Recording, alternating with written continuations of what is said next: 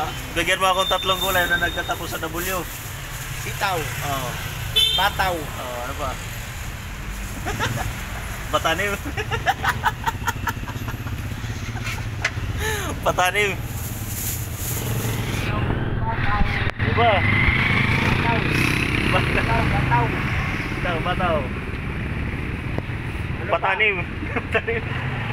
Kalabasaw. Ano? Sabihin mo na kasi. Ayun na, mamaya. May mo sabihin. Nag-iisip pa si tatay. Kaya pagkabalik ko, pagbalik ko. Pagbalik ko, oo, sagot mo na yan. 50 pesos? Oo. Sa halagang 50 pesos? Ate. Hindi ko alam. Gabay. Sige lang. Sige lang. Mamaya na. Mamaya na. Pagkakapit sa lang dito. Sirit, sirit. Sasagutin yung mga sagot niya. sirit. Sasagutin mo yung mga sagot. Baka mga tanong. Oh, nag-iisip eh, oh. Nag-iisip po habang nagtutulak eh, oh. Magaling si tatay. Ganyan si tatay. Oo, sagot nga niya kagad dalawa eh. Ay, yung isa lang hindi masagot eh. Kulang na lang ng isa eh. Sisiw. Sisi. Kaya ka na 50. Kaya na 50. Ah, wala, tapos na eh. Ha? Nasagot na tatay oh. Sisiw daw. Mali. Akin na 50. Ako tama tong sa akin. Akin na yan. Bakit yun, natalo ka gabi ba eh?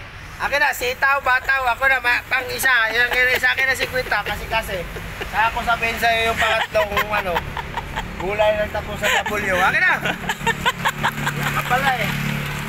Sabi ka dyan. Pupusta mo na lang ito mamaya sa ano. Hindi, umuulan. Hindi tayo maglaro. Ibili Hindi. natin ng palamig. Akin na 50. Pan 10.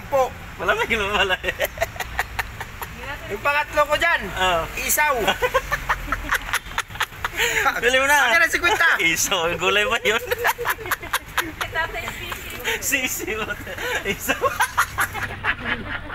Sitaw, bataw, isaw. Oh, magkakatunog lang yun. Pataniw. Taksil. Hindi nyo alam. Bye. Sabihin ko na. Sirit na kayo. sirit. Ang palayang ligaw. Putang ina yan. Ano, ano yan? Ang palayang ligaw. Asong ligaw lang yan. Asong ligaw. Hindi nyo alam yun. Di ba ang palayang ligaw? Gulay yun ah.